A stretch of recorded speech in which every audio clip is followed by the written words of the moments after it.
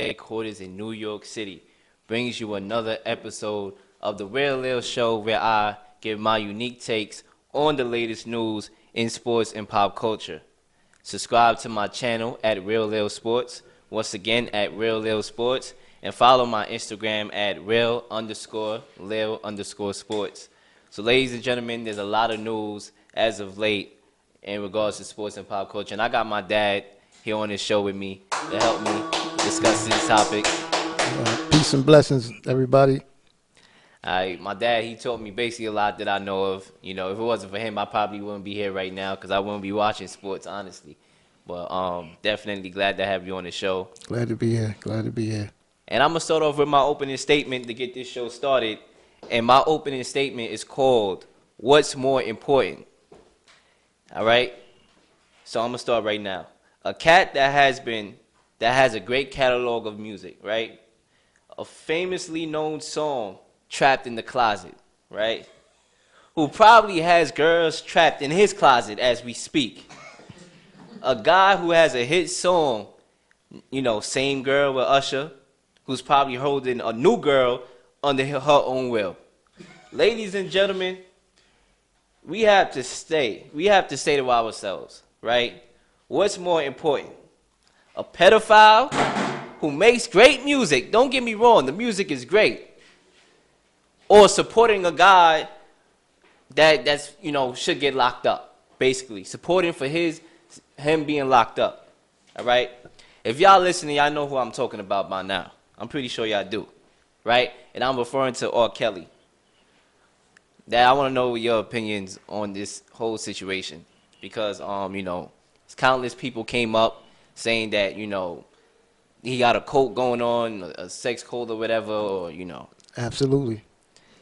You what, know, it's been going on for a long time. A very know, long time. Very long time. And the only thing I'm gonna say, if if Bill Cosby got locked up for doing what he did, he was American's dad, and he got locked up for doing what he did all those years. Kelly got to get locked up for everything that he did. That's the bottom line. You know, you can't get around that. You know, young girls, 14, 13, 15, 16, is unacceptable. You know, you got to pay for it. You know?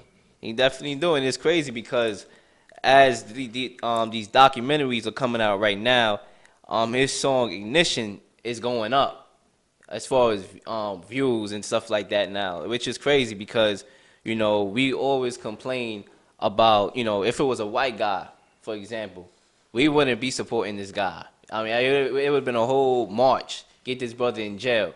But you know, when it comes to our own community, um, with guys like that that you know have great music, we still support them. And, and it's crazy because we do the same. Well, not me, but a lot of people do the same thing with Kanye West, and we all know about his slavery um, was a choice statement. Exactly. So, what are, what are your thoughts on that? People still supporting these guys? They lost. They lost. I don't understand it. You know, you got to stand up for truth. You got to stand up for righteousness. Exactly, and that's that's what I got to say. I mean, listen, ladies and gentlemen, Listen, I know we got a bunch of great songs, but honestly, after this, I'm I'm not listening to none of them. Why? Because I'm not gonna support a cat who should be in jail right now. He really should be behind bars. And like my dad just brought up, if Bill Cosby is sitting there in jail, um, you got to get this brother in there too, because countless people came out um, since 02. All right, this has been going back since 02, and probably before that. Probably we just didn't know about it then. And it's about time. It's, it's really about time they get this guy out of here because you know, hopefully this lifetime documentary will um help it help him get arrested.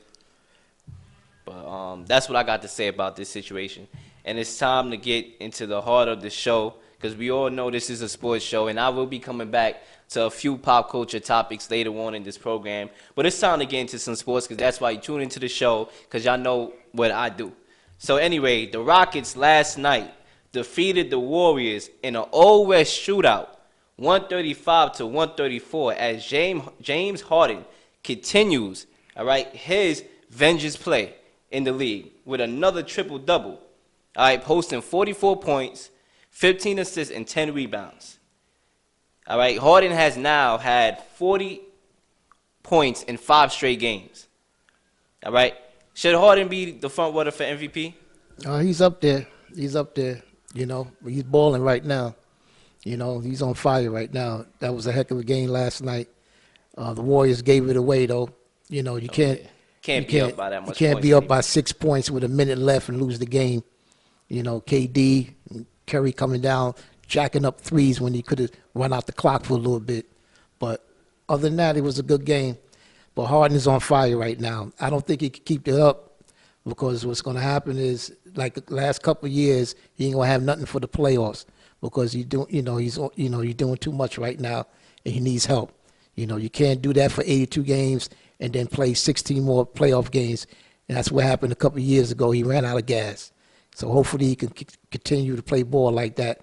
But it's not going to matter, you know, when it's all said and done. Uh, nobody's messing with Golden State. You can beat them a game in- here or there. You might get two, but you're not beating them four times, especially when Boogie comes back. Boogie Cousins. The Boogie Down Cousins. Well, I like the point that you just brought up right there um, about James Harden because we all know the history with James Harden. From Halloween on to April, the beginning of April, he's one of the best offensive scorers, if not the best offensive scorer in the game. But when it comes to the playoffs time, you know, where they, we, we have an AP out for this brother. Where, where's James Harden? We all know about that one series against San Antonio where this brother was, was not there. His body was there, MIA. but he was MIA. Probably talking. He probably was in Miami. All right, it was it was that bad. So I wanted to see if James Harden could continue to play this well because right now he's putting up historical numbers. Historical numbers actually. People were starting to compare him to Michael Jordan and stuff like that. But can he sustain this play throughout the year? Because at the end of the day, the playoffs is what really matters. And obviously, this Rockets team is in good position of making the playoffs. They wasn't to start the year, but they, you know, they won six straight games, a nine of eleven, and they playing well. But can James Harden keep this up? That's that's the big question here. So we have yet to see that. But you know, that shot, that last shot, Yeah, that was that great. was crazy. That was you crazy had right Draymond there. Green on him, Klay Thompson on him, two great defenders, by the way. Yeah. And you know what? They got to play. They got to double team better than that. I mean, Yeah. you can't. That, we all know who had, who was going to take that shot at the end of that game. Yeah, you, you, when you play hard, you got to take the ball. You got to take the ball out of his hand. You got to run doubles at him. You know, go to State did well early in the game, and then they just let him off. He just caught fire. You know, nothing you could do. I mean, it's good D. I mean, just a better shot. He's just on fire right now. You know, but do it in June. You know, do it in June when the game is. You know, when it means something. I want to see you do it in June. You know, And Austin Rivers, how about this cat over here, Austin Rivers? He, you know, he seemed like he's fitting in well with the team. I didn't know how he was going to fit on the team when he came. I do know he's a good three-point shooter, and I do know the Rockets are a three-point shooting team, so I knew they, he had that going for him. But we all know about the beefs that That he had. with with uh, Chris Paul. Exactly. You know, we'll see how that is when Chris Paul come back. You know, but it was a good pickup. You know, and let's see if it can continue. But you got to play D. You know, and we'll see. Right now, they might get the. You know, still young, still season still young, but they're gonna be top two, three, or four in the West. You know, if they keep playing like that. You know. So, do you have any concerns? Should we com- should we basketball fans or Golden State fans in particular be nervous about the Warriors, or you know, Boogie Cousins, who's set to be here Nah, in three weeks? It's that, no, that's it's it. no it's over. concern. I mean, it's January. You know what I'm saying? We set a pace for the last four years. We've been like a dynasty.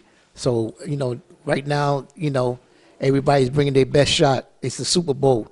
It's the NBA championship. Every time they play Golden State, everybody giving their best effort. So right now it's a little struggle, you know. But when Boogie comes in there, they're gonna take off. You know, he's supposed to be back in about three weeks.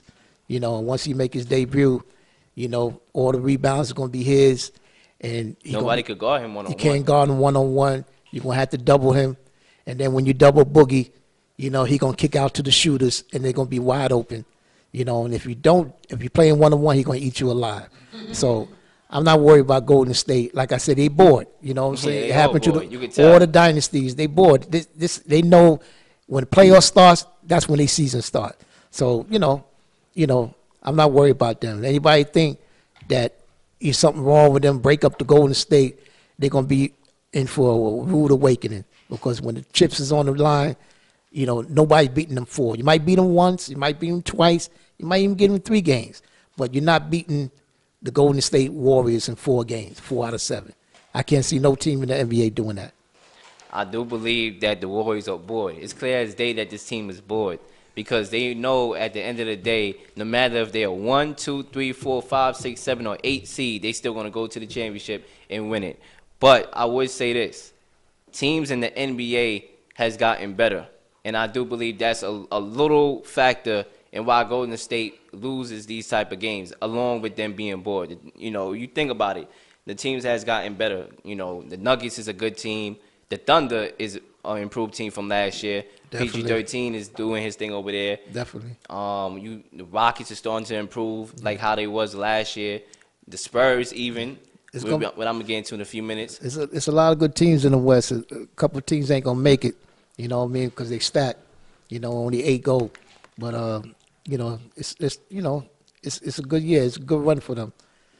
You know, it's a good run right now in the West. And once again, like me and my dad just stated before we move on to the next topic, no matter what happens, who get better, who's a two or the three or two through the eight, all right? If the Warriors is not that, the Warriors is still going to win, all right? Especially when Boogie Cousins come back. It's over, all right? No discussion. All right, moving on. The Spurs last night spoils Kawhi's return as they demolished the Raptors 125 to 107. Kawhi blames the media for the rift between him and the Spurs, which I have a few things to say about that. But before I even get into that, what are your thoughts on this game? I mean, you know, everybody talked about Kawhi, you know, Kawhi this, Kawhi that, and I feel like a lot of people forgot forgot about DeMar DeRozan, who actually got traded in this deal, who actually showed up posting a triple double. What are your thoughts on this game? Yeah, that was a good game. Uh, like I said, they forgot on forgot about DeRozan. He's the truth. You know, you just can't do it in the playoffs, but in the regular season, he's the truth. And uh, he was looking forward to this game. And uh, you know, I was surprised that you know Leonard got booed like that. You know, called him traitor and everything.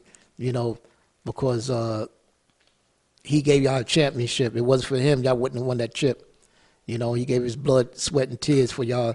Y'all, sh- y'all should have gave him, you know, a standing ovation. Remember, he got y'all a championship. You know, things didn't work out. You know, you you know, so but still, y'all should have gave him some more love to me. You know, he wasn't, you know, traitor and all that. That was kind of harsh to me.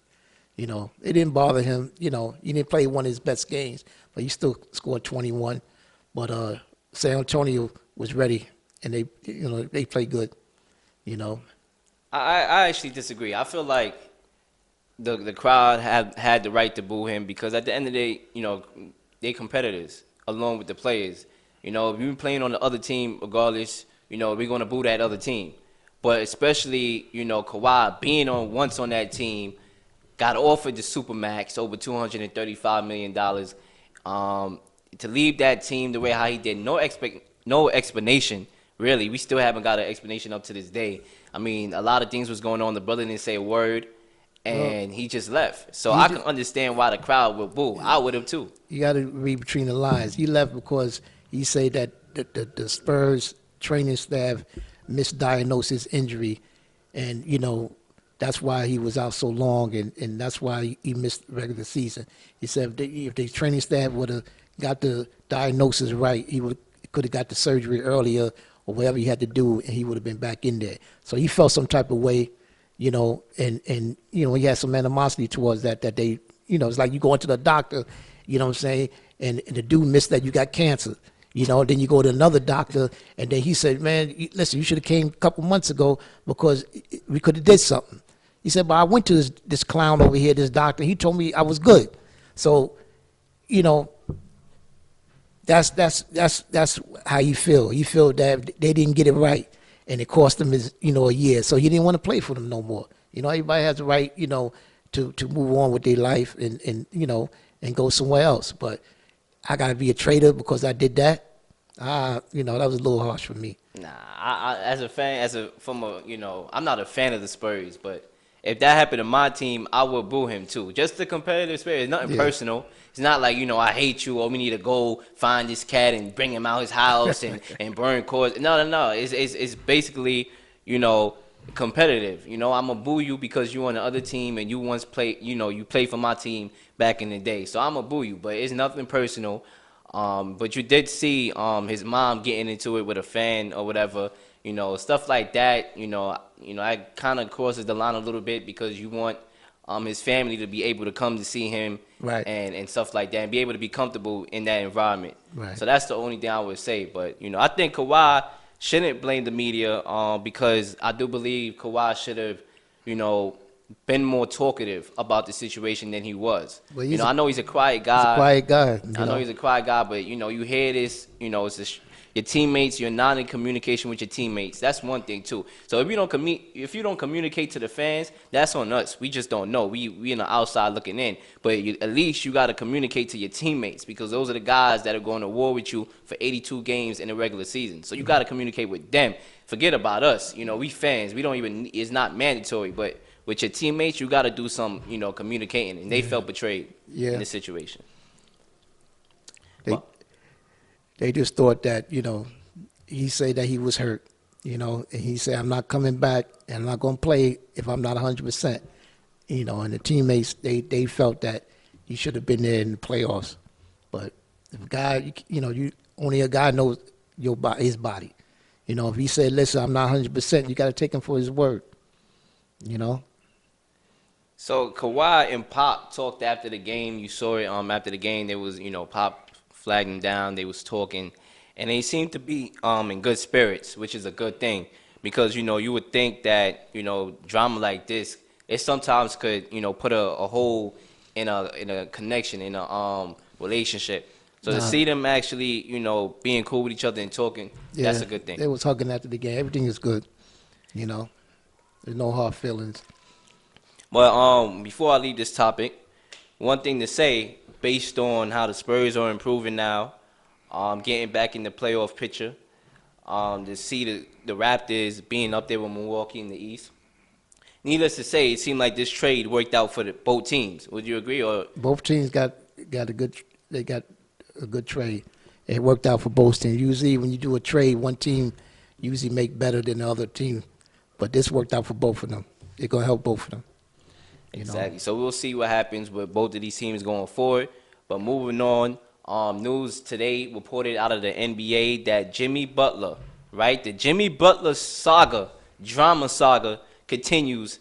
Right, is continuing all the time. We hear something about Jimmy Butler, and I was a pro Jimmy Butler guy because I like his spirit. I like what he brings to the table. He's aggressive. You know, he wants to win. But sometimes, you know, you got to calm it down. You got to tone it down a little bit. So news came out today that um, he's ripped, you know, he ripped um, 76ers coach um, Brett Brown.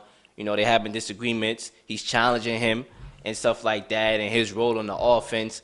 And right now, do you think Jimmy Butler's future with the team could be in doubt because of this? Because he's going to be a free agent after the season. He can opt out and become a free agent. Yeah, he might, you know, he might be one and done. You know, if they don't get it together. But you know, you got to blame. You know, so I knew this was going to happen. You know, but the, you got to blame uh, that dude, uh, Joel Embiid, because he threw the first shot. You know, a couple weeks ago, he was saying, "Oh, ever since this guy came onto the team, my touches went down, my scoring went down.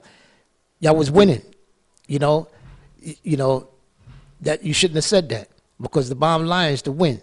All right, he helps you win. You know what I'm saying? So why are you complaining that your touches is down and, and you're not getting the same shots when he's making your team better? So he threw the first shot. So now now he got beef and he threw the first shot. So now Jimmy gonna be Jimmy now. You know, and that's why this other things, you know, it just popped off what you just talked about.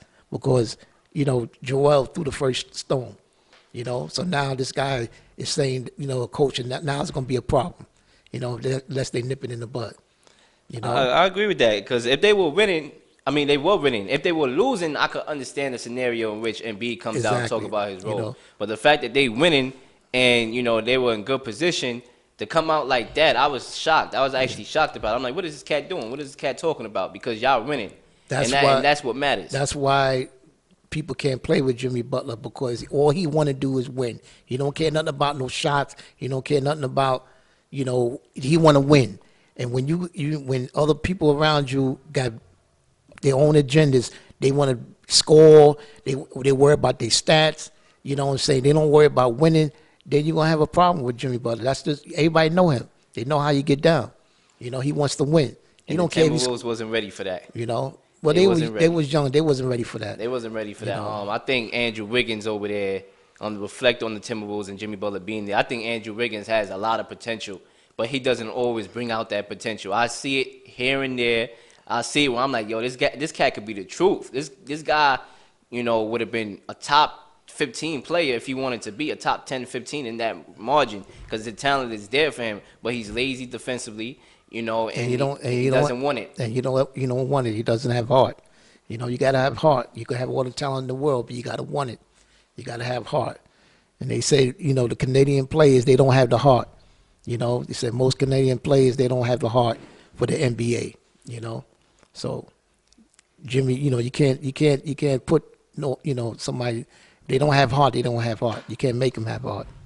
But my thing is, I know, I know that Jimmy Butler, he wants to win. It's clear as day that this brother wants to win, and I do side with him a lot when it comes to stuff like that. But there is a thin line, in my Yeah. opinion. You You know, know, you can't- charging authority Yeah, and stuff like that. You can't do that. You can't do that. You can't do that. You gotta, you gotta behave yourself because at the end of the day, you have to get along with somebody. So if you leave as a free agent in 2019, you go to the Knicks or whatever team you decide to go to, the Clippers. You can't go there and then start doing what you're doing over there. At the end of the day, you have to find a you know a balance in which you do have to respect that other players don't want it the same way that you want it. Because at the end of the day, basketball is a team sport. So you may want it the most. You may look at your teammate and be like, "Oh, I don't like the way how Embiid playing. I don't like the way how Ben Simmons play, or you know JJ Redick or whatever." Not to not for them to be criticized, but you may think that, or you don't mm. like their heart. But at the end of the day, it's a team game. So what Jimmy Butler needs to do is continue to work on his game and do what's the best for him. All right, and get along with these other players. You know, if they make a mistake, you tell them, "Yo, you made a mistake." If you know, you you know, you sit and talk with them. You don't come out publicly and, and call them out and challenge guys. You know, you have to learn how to compromise. You got you got to talk. You know, not through the media. And if he, you know, hopefully he gets that down pat because I'm tired of hearing this. All right, Jimmy Butler, this he's challenging that. You know, it seemed like it seemed like he was happy when he first got traded to the 76ers. Yeah, yeah. And you know everything was going, but I think when Embiid said what Embiid said, I think that's why this all started to come out now. Absolutely. Because if Embiid didn't say nothing, I'm pretty sure we won't be hearing nothing about Jimmy Butler. Exactly. But those um those are my NBA talks. And before I get out the NBA, there's one more thing I gotta talk about here, and that's these early NBA All Star votes that has been released. All right, in the Western Conference, LeBron James leads the pack with with a million votes, followed by Curry, Steph Curry, followed by Rose at number three, Luka Doncic um, um at number four, and Kevin Durant at number five. Do you have any problem with the order in this list? I mean, I don't see no AD in the top five. I don't see no James Harden in the top five. The fans is the fans is voting, so that's who they want to see. You know, You see me? I voted. I actually voted a few days ago. Mm-hmm. And when I voted, I didn't vote for who was my favorite player. I didn't vote from a fan's perspective. I voted based on stats and based on who I believe was actually, even if I didn't like the cat personally, I put my biases aside and I said, all right, Anthony Davis is right up there in, in the Western Conference, along with James Harden. All right, in, in the East, Giannis and, and Kawhi. All right, Right. pos- I gave Kemba some love. I do believe everybody ignores Kemba Walker because he's. It's unfortunate that this cat is playing for for that team that he's playing for. You know, in Charlotte, and he doesn't get no love because you don't win over there. Right. But he needs to get love too.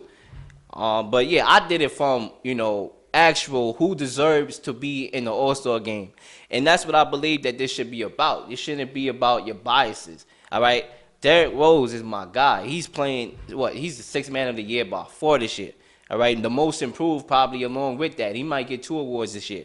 All right, but you cannot tell me Derrick Rose has had a better season than Anthony Davis No. and James Harden. no, not at all. You know, not at all. I mean, you can't you can't tell me that. And then another thing here is, you know, it, it's coming from a popular perspective. You know, Right. the, it popular. Stephen Curry is very popular. We know that, and he deserves to be up there too. I don't have a problem with that. Um, you know, but Derrick Rose seems to get a lot of love for the last couple of years. Yeah, he- and he definitely has been. Well, he was top 15 in jersey sales when he didn't even play for two seasons, which is crazy. So I don't know what what it is, but Derrick Rose has a fan base that's probably equal to let's say we're talking pop culture and hip hop. You think about the fan bases there, the big fan bases. And I'm not gonna say Michael Jackson, that's a whole other level. But you do have Tupac fan base. You have all these other fan bases that you have with that Wu Tang and stuff like that. But in the sports side, Derrick Rose seemed to have a fan base because the jersey sales when he wasn't even playing and, and stuff like that. And I think it's more of they know what could have been with him. I think that's where it's coming from because he was one of the fastest elect- Yeah. electric point guards ever. I mean, he's making it his way back. You know, he had that for years, the last couple, two or three years that he was out. You know, and he thinking he would never play again. You know what I mean? But he's balling. You know what I mean? So everybody's showing him love. You know, they showing him love. That's why he's you know he's getting those votes. And it's crazy because I wondered why. I thought that the Knicks should have brought him back because even when he was on the Knicks and they were trying to rebuild, this guy was averaging at least 15. He was averaging, averaging 15 points a game. You know, he wasn't as good as he is right now, Right. improving, but he was able to create his own shot and make it and, and drop to the basket. A lot of guys can't do that. But the Knicks, you know, allow him to leave, and now look at this cat, man. He should be starting the league. Would you say, or sh- should he be starting the league? Ooh, Derrick Rose. Yeah, Derrick Rose. Yeah, I mean he's back. You know, what I'm saying he can help a lot of teams. You know, you got you know he's playing good. You know, he's you know trying to get it back. You know, but before you go off this topic, I just want to make a statement. Uh, LeBron James made on this show a week or two ago about. I was just about to ask you about that He- too. he's the Glad GOAT. You brought that up. all right. Let's hear this. Ladies and gentlemen, LeBron James is not the GOAT. The greatest of all time, the GOAT is Michael Jordan. He's the greatest that ever string up a pair of sneakers. You know what I'm saying? He got the championship, six for six. You know, the scoring. I mean, everything. I mean, LeBron James is the best in this era. But if you pass gas in this era, it's a foul. All right. When Jordan and the rest of those cats was playing, all right, they was getting knocked out the air. They was getting hand checked. All right.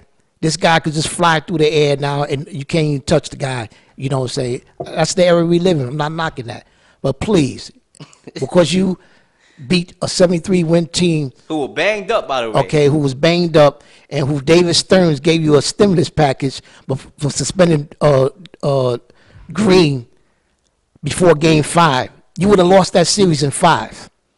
Okay, it wouldn't have went to Game Five. It wouldn't have went to Game Six, and you wouldn't have won in Game Seven.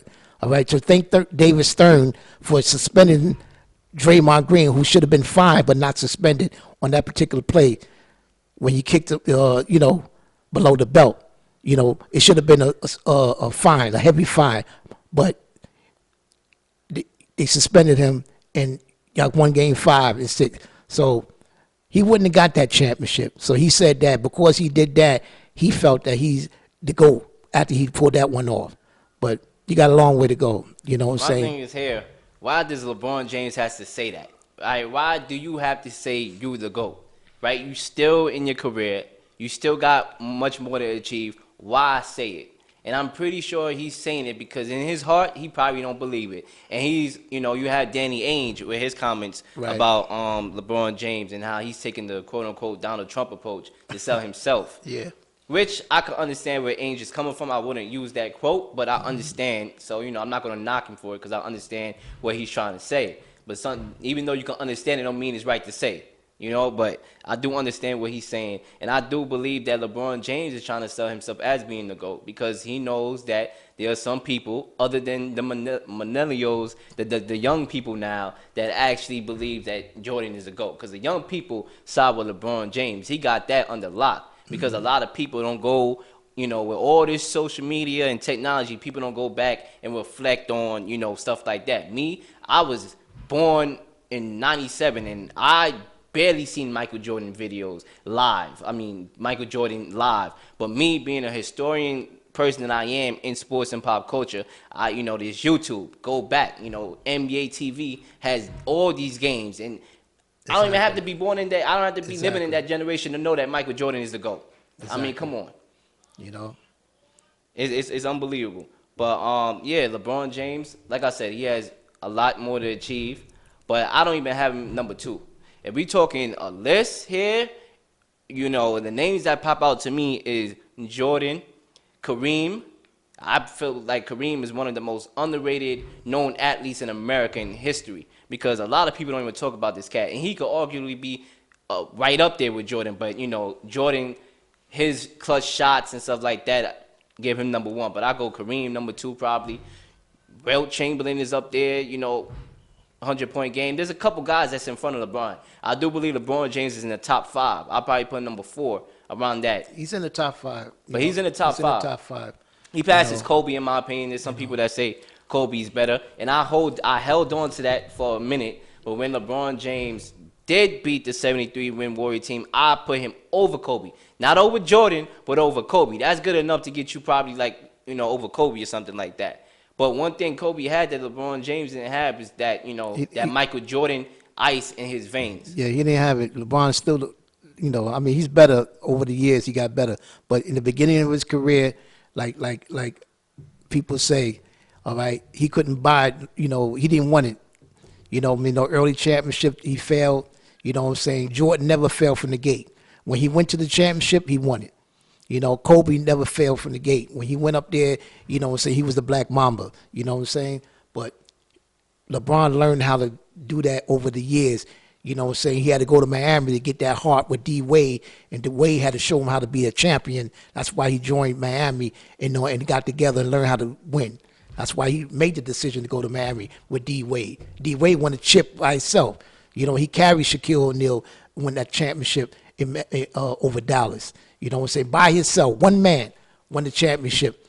You know what I'm saying against Dallas. You know what I'm saying? So, you know, LeBron is, you know, the best of, of this generation, uh, NBA at this time, but he's not the greatest of all times. And one thing I would say too is another thing that I felt and I maintain up to this day. People could say, you know, this and that all they want. But I do believe that LeBron James left Miami to come back to Cleveland. I feel like he made it seem like he was coming back to Cleveland to, you know, be Moses and lead the Israelites to the promised land, right? I think that's what he tried to, you know, sell.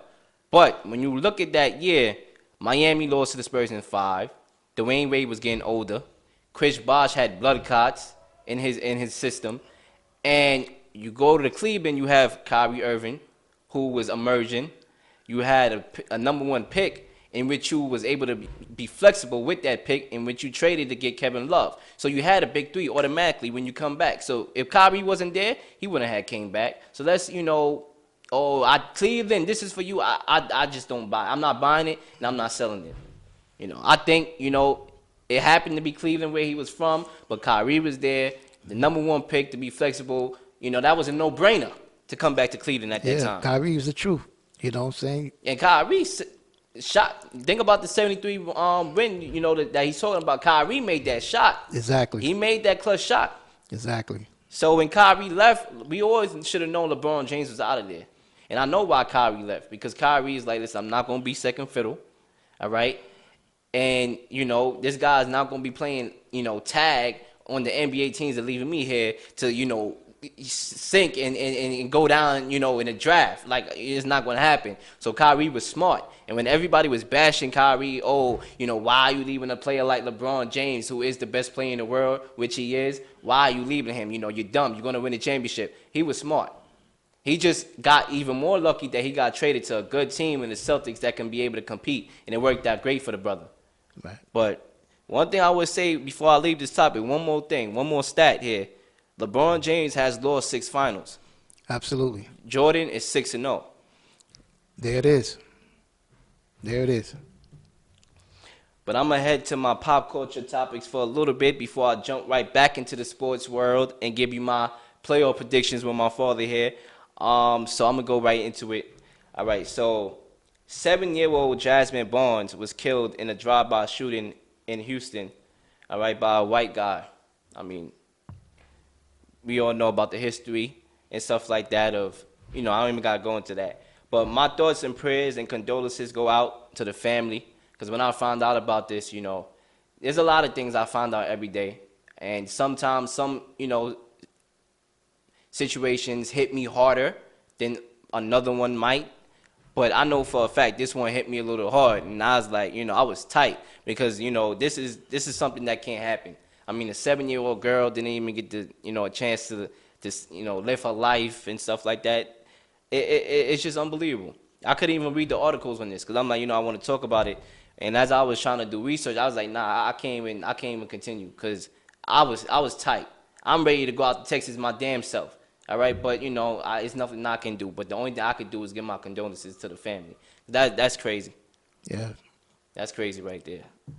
Um, but moving on, um, Bizzy Bone threatens 21 Savage on Facebook, and this happened a couple weeks ago.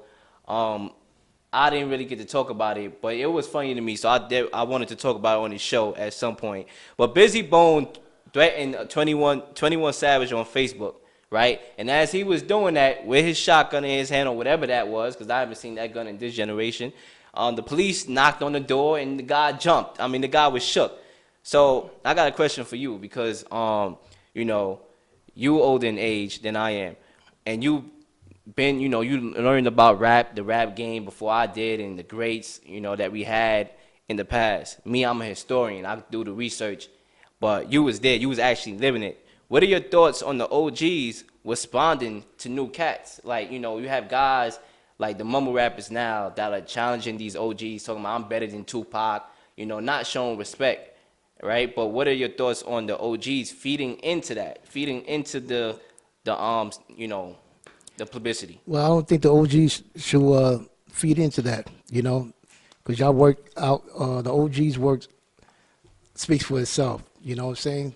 You know, I like the old old school hip hop. I like back in the days, you know, I'm from that era, you know, you know, the Melle Mels, you know, the Kool Moe Dees, you know what I'm saying? The Kool two G bars, Rap. Kool G Rap, you know, fantastic romantic five, Cold Crush Brothers. All right. To me, you know, I respect the rap of today, you know, but give me two turntables and a microphone, you know what I'm saying, all day. You know what I'm saying? That's where I grew up on it, and that was that was the best time in hip hop. You know, I know they making more money now, you know, but they set the foundation. You know what I'm saying? They there's nothing like it. You know what I'm saying? It's nothing like, you know what I'm saying, going to a party, you know what I'm saying, and you got a DJ who's scratching the records, you know what I'm saying, and you got the microphones going, you know, and I, I respect that era better, you know, and they shouldn't feed into the new new cats and, and, and, and go back and forth about who was better, you know what I'm saying, and all that. There's no need for no need for that. There's no need for violence, no need for that.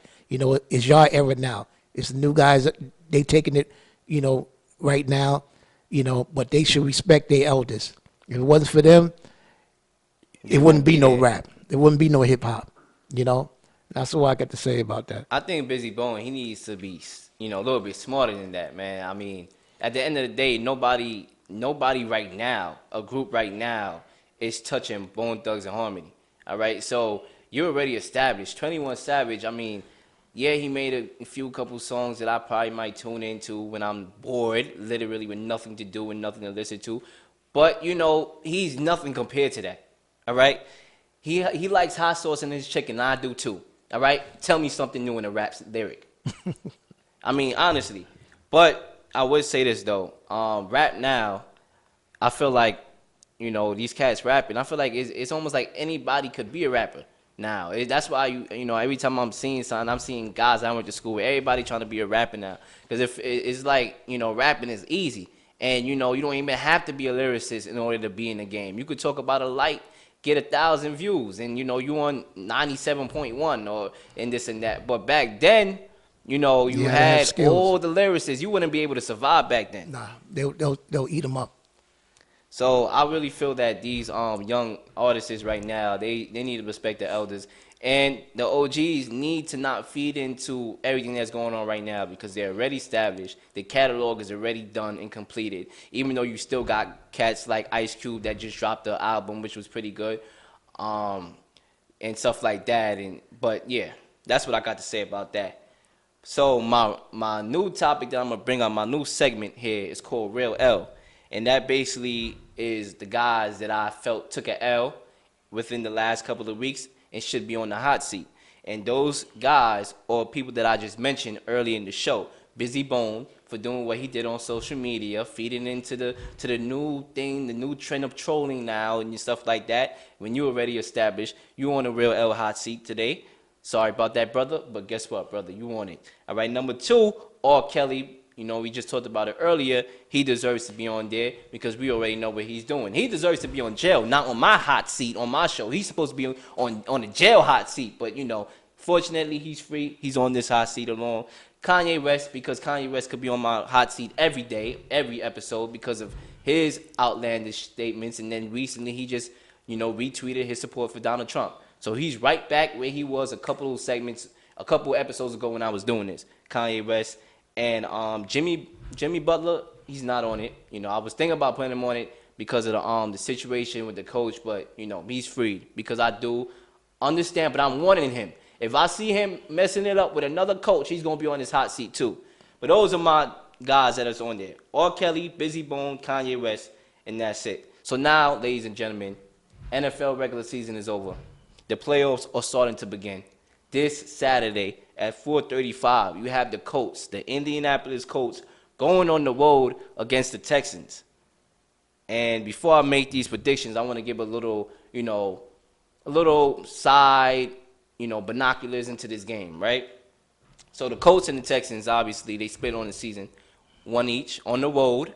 So those of y'all saying that you know the Texans are at home and you're using it as a crotch to go with them I think that you shouldn't. You know, in most cases, sometimes you pick the home team. That that's in a lot of cases. But in this case, as you see, both teams are good enough to to win on the road. Both teams have a talented defense. You think about J.J. Watt, who hasn't really been performing to his level that we know him to be, a guy that almost won MVP, but he's right up there. You know, he's starting to get back. He's starting to get his feet wet. Obviously, you had the injuries. Still got Tyrann Mathieu on the side of the ball. He can make plays. The Honey Badger, all right, he could do it. And on the Colts, they the Colts, you know, obviously the Texans had the guys, but the Colts, they play hard. And that's why their defense could be considered better than the Texans, even though the Texans got the, the household names. So, what do you like more? Do you like the Deshaun Watson or the Colts defense in this game before we make our predictions? I don't know. I like the Colts defense because Watson, this is his first playoff game. This ain't college. This ain't the you ain't going against Alabama.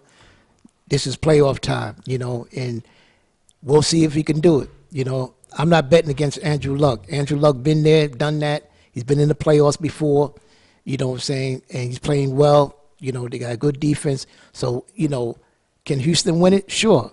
You know, but would it shock me if they lose it?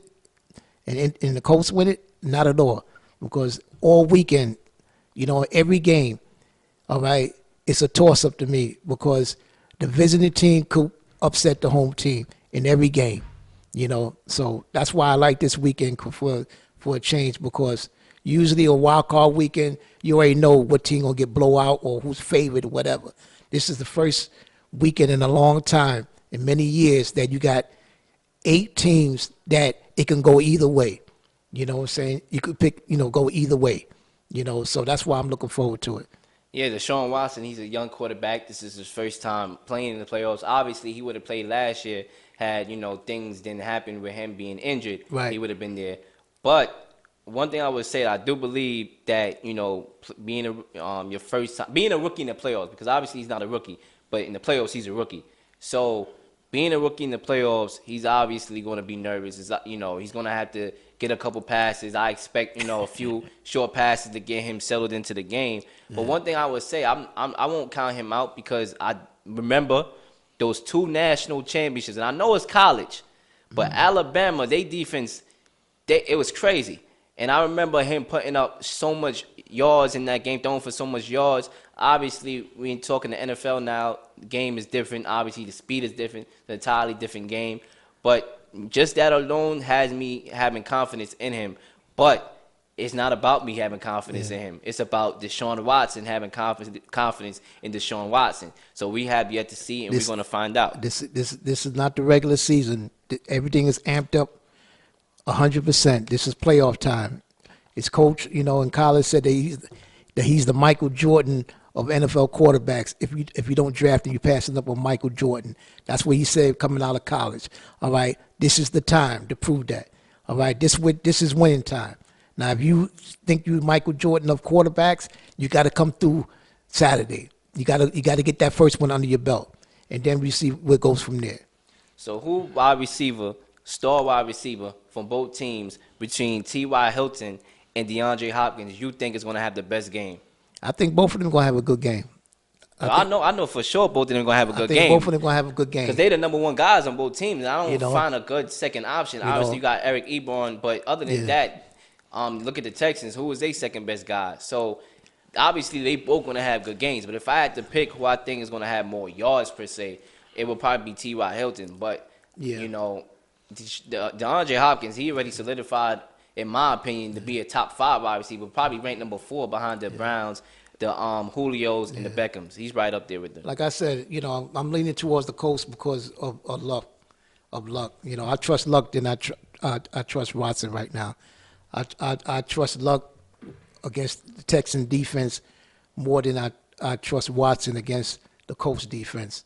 You And- know, even though Texas is at home, you know, even though Texas at home. And one thing I want to do is I want to give a you know nice little shout out to the offensive line, of the Colts, because it has improved throughout the course of the year tremendously. Yeah. Because you have a guy. I was worried for Andrew Luck. I was I was really worried for him because of the injuries that he had and that offensive line. I, I thought it was almost like a, another you know.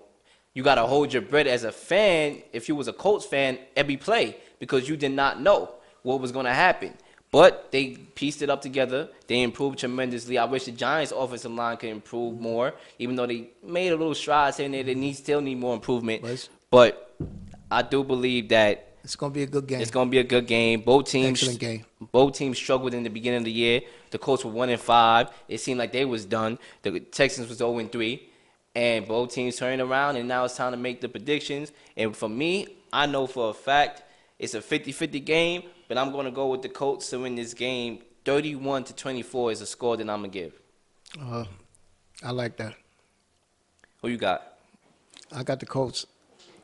You got a score in your head? Uh, I think the Colts. I think my man, you know, Mr. Mr. Clutch field goal kicker Vinatieri is going to kick them to victory. I got the Colts 30-27 at the buzzer. Moving on to the second game, and I know my dad here is a Cowboys fan, and you know all the times watching the games at home, I always have to hear every time they win, "How about them Cowboys?" You know, all the time. All right, but you know we're gonna get into it right now. The Seattle Seahawks is at the Cowboys at 8 p.m. on Saturday to close out the Saturday games, and which should be that another 50-50 game because both teams are almost identical. You have Dak Prescott, who's a nice young quarterback, um, who's trying to make strides.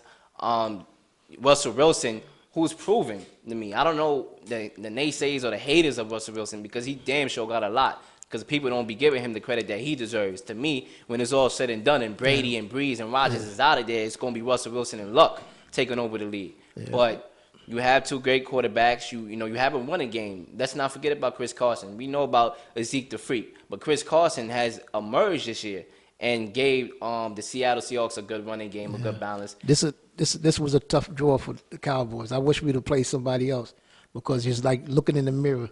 It's like fighting your brother. I mean, they same defense, good defense, both teams, good secondary, both teams.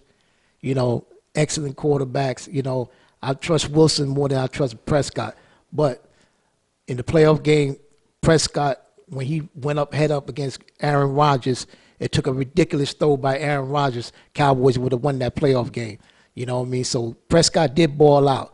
Now, hopefully he could do it again. But Wilson won a Super Bowl, should have won another Super Bowl. I mean, so he's not gonna be he's not gonna be flat. You know, he's not gonna be flappable. You know, he's gonna be there. So hopefully Prescott could keep up, And like I said, you know, I'm just gonna sit back and enjoy. I want the Cowboys to win, but would it would would it, would it shock me if Seattle wins? No. And I'm telling America today that whoever win that game between Seattle and Dallas, they're going to the Super Bowl. Whoever win that game Saturday night, my prediction is whoever win that game, I want the Cowboys to win.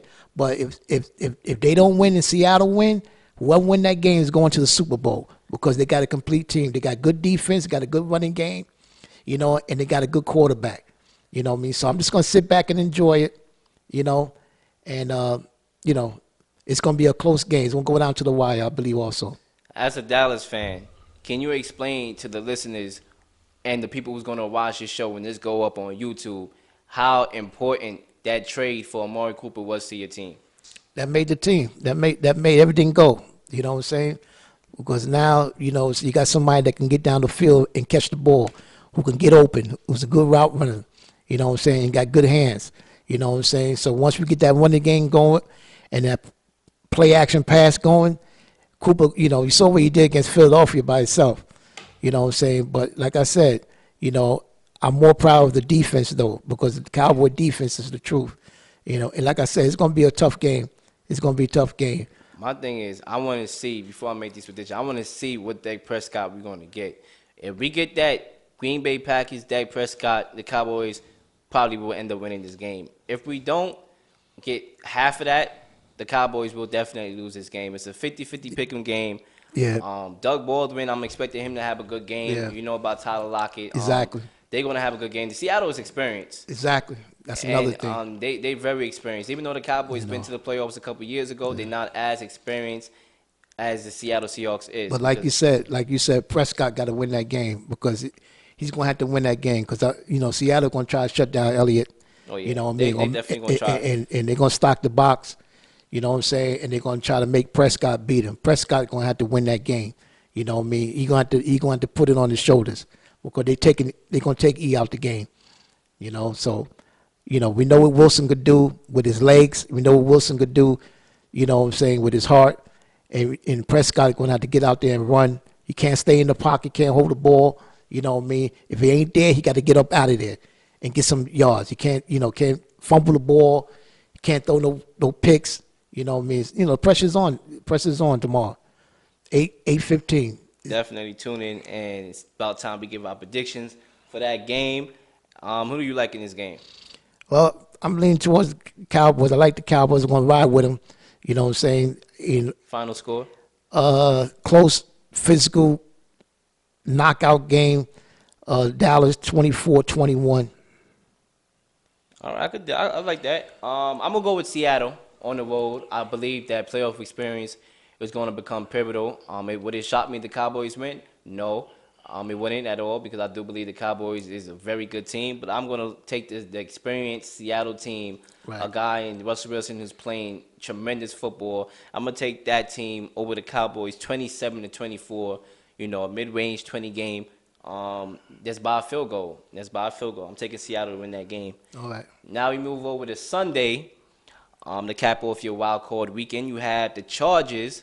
You have two games, and the first game on Sunday, one o'clock, is the Chargers at the Baltimore Ravens. And to be honest with you, when you look at all these games, it's 50-50 across the way for me for all of them.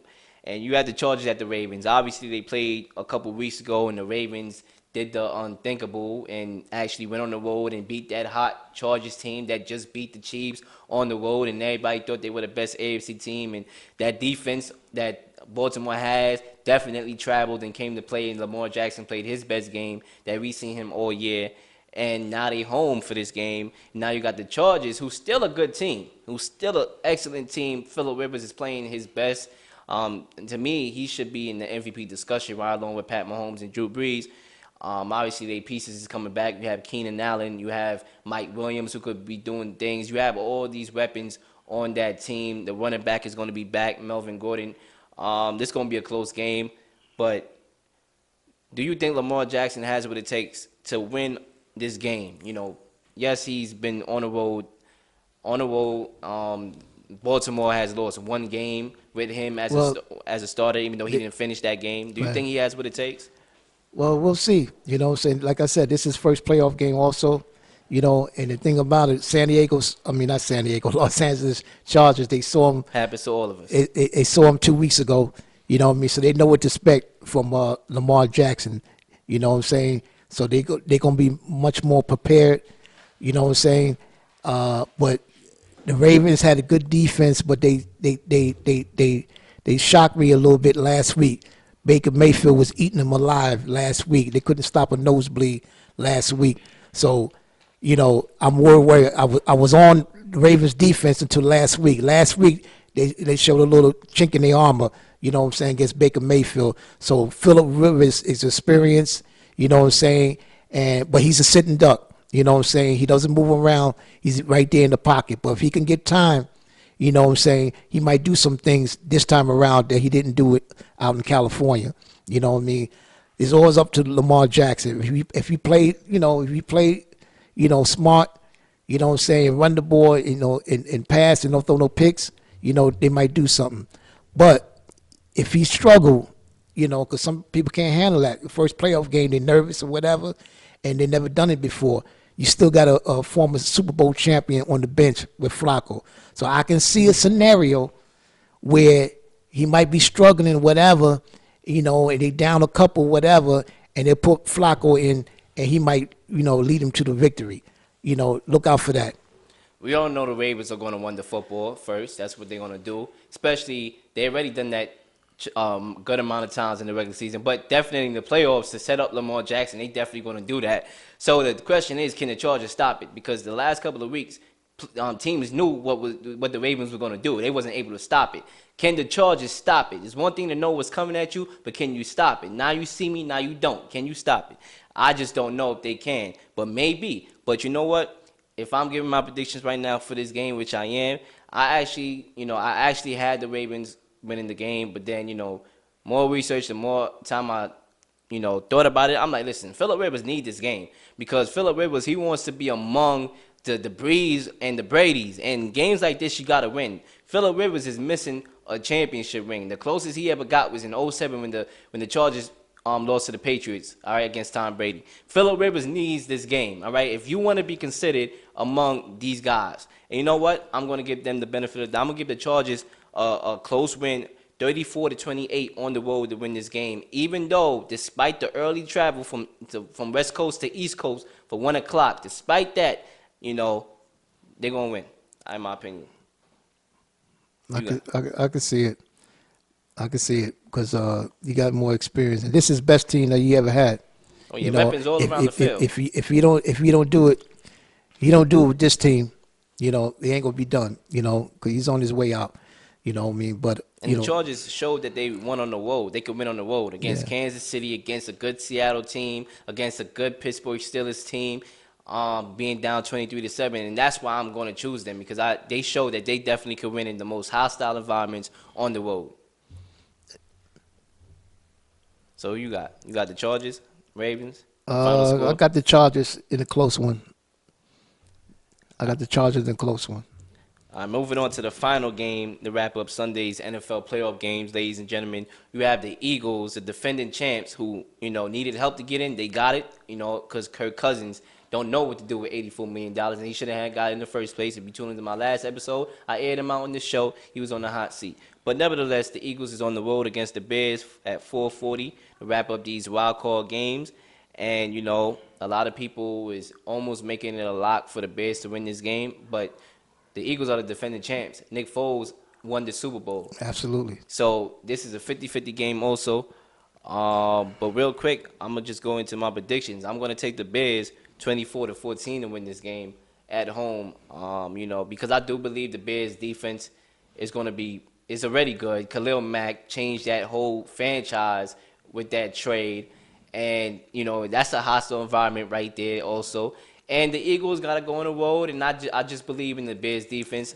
Mr. Trubisky, that's going to be the X factor. What what game we going to get from him? All he needs to do is make the necessary plays, and if he does that, I, I got the Bears winning this game 24 to 14. Well, I'm going with the champs. You know what I'm saying? You got to knock the champs out. And if you have, if you give me, if you ask me who would I trust, Nick Foles or Travinsky, who never done it, who's shaky, he's been shaky all year. The defense has been carrying him. I'm going with Nick Foles. You know what I'm saying?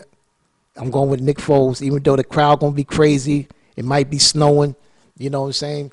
But Tr- to me is like a deer in headlights. You know what I'm saying? And I think it's gonna be too too much pressure on him. You know, and he's gonna give it up. You know, I'm going with the champs. You know, they got good defense. You know what I'm saying? And uh, Nick Foles, there's something about him, man. You know what I'm saying? Even though he did, he did all that damage at home in the playoffs. I mean, he beat L.A. in the playoffs on the road, but you know, Be the good Atlanta Falcons you know, he, year he- too. exactly. But like I said, I just think it's gonna come down to Trubisky or Foles, and I got to go with Foles. I got to go with Foles. So I'm I'm looking for Philly to upset Chicago. I like the Bears because of their defense. You know, obviously, I believe Foles is the better quarterback out the two, and I believe he's going to have the better game out the two. But when you think about how the Bears, you know, shut down high potent offenses this year, you know, with the Rams, they they won that game Absolutely. and stuff like that. I do believe that Trubisky only has to not mess it up. He could be a game manager in that game, you know, a little bit above that, making the key necessary plays at the end, just for them to win that game um, with that defense that they have. Like I said, I don't think you know. Like I said, it's gonna be tough, you know. But you got Cox, you know. what I'm saying you got my man Bennett. You to play for Seattle, you know. what I'm saying they're gonna wreck that that that offensive line, you know, and put pressure on Trubisky, and he's gonna throw a couple of picks, I believe. You know, I mean, you know, the, the Bears defense is gonna be good, but you know, if you get the ball out two steps before Khalil get there, you know, you might have a chance. They they, they got to do that quick passing, you know. But you can't stay in the pocket three, four, five steps because they their defense is too tough, you know. So I'm going with the champs though. And those are our NFL playoff predictions. And to close out this show, we're going to give you our national championship predictions. As you do know, um, the Clemson Tigers versus the Alabama Clemson Tide um, on Monday, uh, 8, 8 o'clock on ESPN. Dexter Lawrence is out. He's not going to play. That's a you know a pivotal guy, but Clemson has shown that they can their defensive line could be good without him. Obviously, against Notre Dame, they, you saw what they can do. Albert Huggins came in, did his thing, but in a game like this against uh, against Alabama, you really want to have all your best players, even if you're good without him. You want to have you want to be full ammunition ready and geared, and that's a that might come that might hurt them a little bit, but I do like Trevor Lawrence. This cat is going to be the real deal. This guy is unbelievable. This guy Trevor Lawrence is, you know, he's very accurate with the ball. He throws a nice, good deep ball, and you know he can move. He's a little mobile, and I like that. I like, I, you know, you saw what um, Deshaun Watson has done to that team over the course of the um, championships in the past couple of years. Even though Trevor Lawrence is no Deshaun Watson, he's still a good quarterback, and I do believe Clemson has a chance. I do. I don't think by any means of the necessary this is going to be a blowout. Clemson is experienced with this team. How many years? What four straight years they played each other? So Clemson has what it takes to beat Alabama. They do, and I'm not going to count them out by any means. It's just that when you look at this Alabama team, you have Tallulah in an offense that Alabama pretty much never had in you know Nick Saban's history. You know this high flying offense to go along with that high flying defense, and that's just going to be hard to overcome. So, um, but before we make these predictions, Hunter Renfrow is going to be his last game. Um, you know, he's a good wide receiver. He reminds me of Wes Welker on the football field. He made that key championship touchdown with Deshaun Watson threw it to him on the end in the end zone. It's going to be his last game. I expect a good game from him because that's going to be a guy in the slot, and you want to get the ball out your hands, and I do believe they're going to do that. Justyn Ross had six receptions and 148 yards and two touchdowns in his last game against Notre Dame. I do believe that we need a game like that for them to win this game too. A game like that, he's gonna have to step up to the plate. But Tallulah, you saw what they did against Oklahoma. Who you got in this game? Roll Tide. You? Alabama going with the chance. Going with the chance. It's going to be a good game. It shouldn't be no blowout, like you said. Uh, Clemson's a good top, uh, good team, but uh, you know this rookie they got, you know Lawrence, you know true freshman. You know what I'm saying? We're gonna see what he's made of. We're gonna see what he's made of. I mean, he's so far so good, but he's going against my man Tua, and Alabama got that defense. They got a good running game, and it's gonna be a finally we're gonna get a nice little championship not like the the, the playoffs. You're gonna get a nice little Playoffs was- championship. playoffs was you know what I mean? It's gonna be a nice little championship, so you can sit back and enjoy. It's gonna be a good game. But I got I got the Tide winning it. You know what I'm saying? You know by ten. I think it's gonna be a touchdown. Probably, I'll probably look at the lenses of 30, 38 to thirty-one. But you know, the saying goes, "Like father, like son, roll tide."